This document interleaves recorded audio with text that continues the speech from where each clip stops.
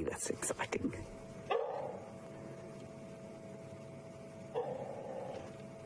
Endangered African painted wolf.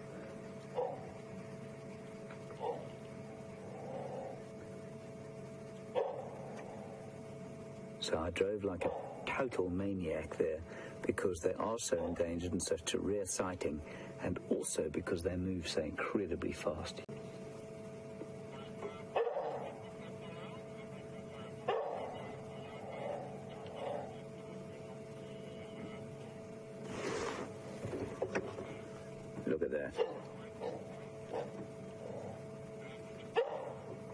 Look at fantastic.